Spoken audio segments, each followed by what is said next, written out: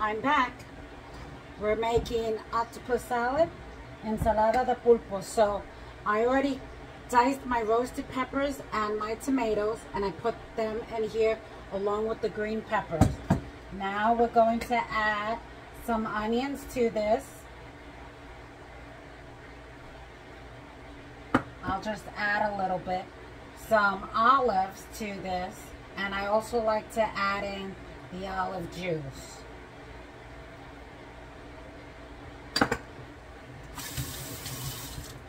It smells yummy already. I'm going to add in some cilantro.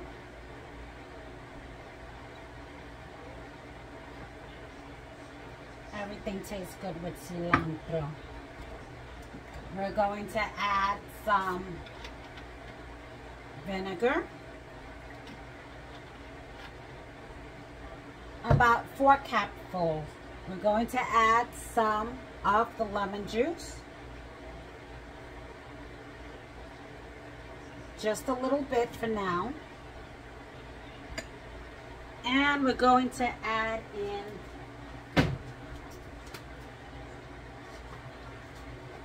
my olive oil.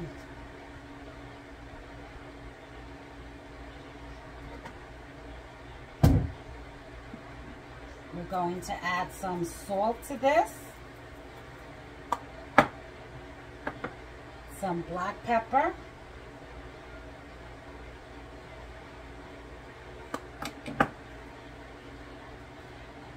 And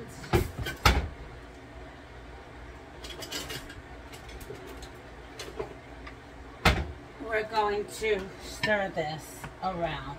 Oh, it looks yummy. It smells really good too.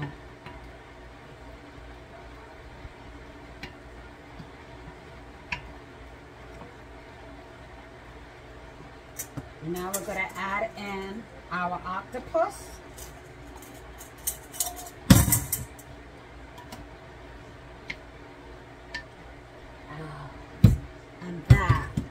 Looks wonderful. We're going to taste it for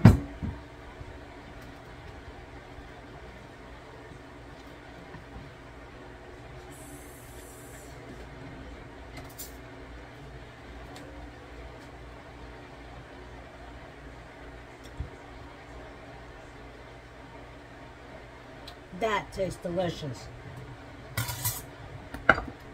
I like more olives. I'm going to add in my olives. a little more of the olive juice.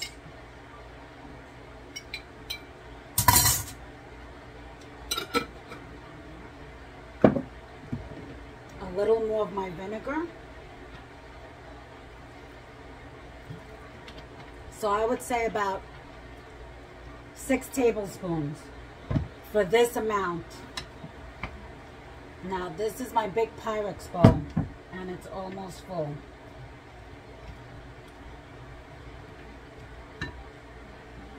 And we're going to add a little more olive oil.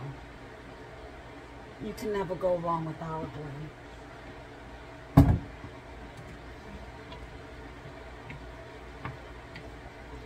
Oh, it smells wonderful.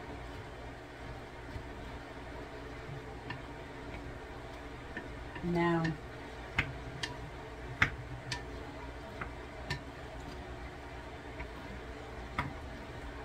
If you like, you can eat this now or let this marinate for 24 hours. Put a nice saran wrap over this, put it in the fridge, and come back to it.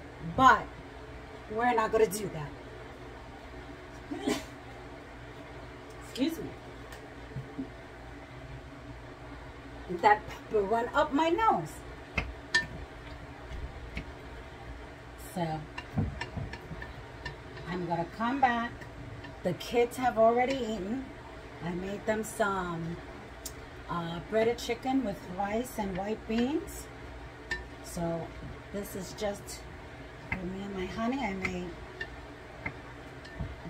uh, my honey made some uh, corned beef brisket for himself with boiled potatoes and cabbage. We've just been cooking up a storm here.